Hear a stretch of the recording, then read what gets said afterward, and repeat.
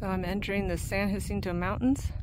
Um, after leaving Idyllwild, I spent a night there and we're headed that way up to 10,000 feet. And uh, when I say we, I mean me. You know, we. We're going that way. Me. And you. We're going that way. Wow. I don't know what city that is. But I'm night hiking. I didn't mean to. I know what that is now. It's part of uh, the Palm Springs area. So I'm getting closer. There's Mount San Jacinto. And if I get far enough today, then hopefully in the morning, uh, early afternoon, I can climb it. So that is the goal for today.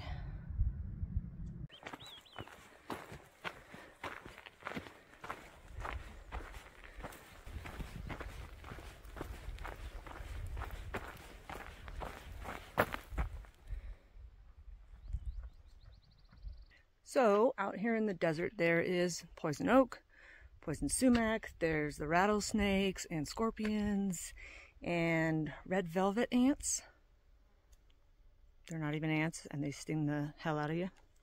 Um, and there's something else called poodle dog bush. It's poodle dog bush. I didn't make that up. We were warned that it is even more toxic than poison oak and we'll give you the full blistery rash and everything. It's easy to distinguish because uh, it's very unique looking. Also, it smells highly of marijuana.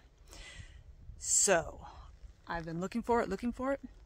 Haven't found it until walking down here by the trail and it just reeked of pot. And I'm like, who is smoking? And then I thought, ah, I turned around and here it is. Poodle dog bush.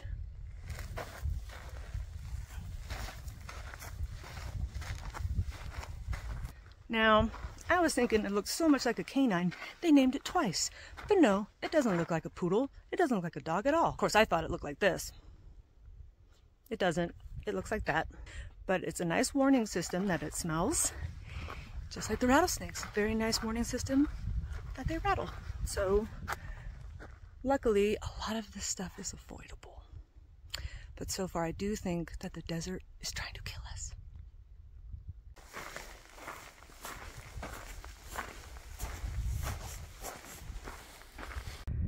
Woohoo! And then straight down the other side. I do not even know where the trail goes.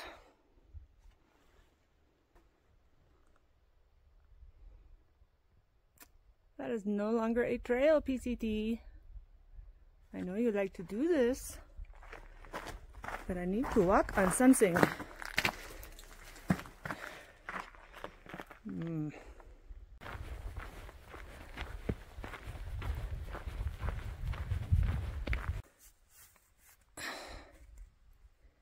Oh, my heels hurt.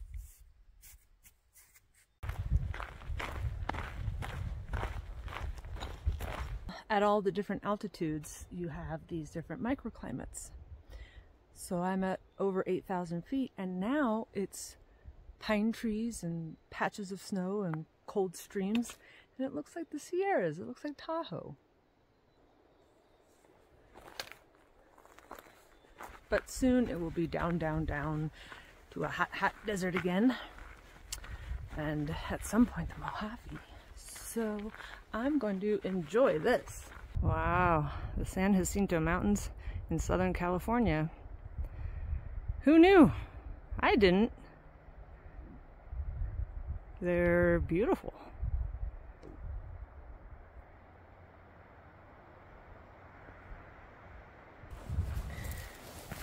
For my Oh yeah, that's good. My Achilles on both my feet are killing me. Actually, they're not that bad. They're better today. What do we got today? Tonight. What's this? Oh, it's cheddar mashed potatoes. There you go. The past two days, I have not gone as far as I wanted. I wanted to go at least 15 miles each day. I've gone 10 each day. I did 11 today. But, oh, God. It is hot, but there's a constant breeze, or wind, rather. Sometimes it's windy. And that dramatically cools me off, so the heat is not much of a problem. Very exposed, very rocky, very sunny. But with the wind, I still can't use my sun umbrella all the time.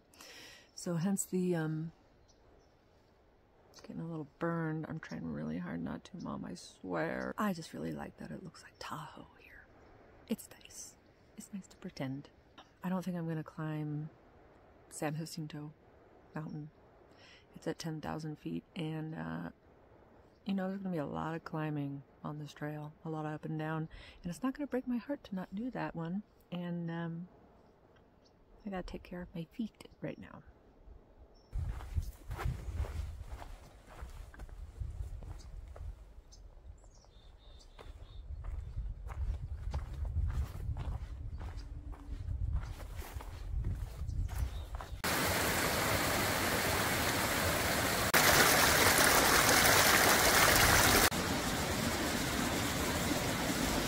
This is amazing, cold, crisp, beautiful water.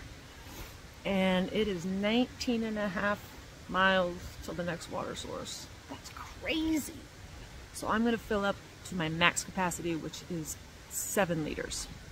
It's like 15 pounds. Whew. It's down, down, down, down from like 9,000 feet to two. Ah. All right. Come on, knees. Going all the way down there. Crossing the highway and, oh, I imagine going back up.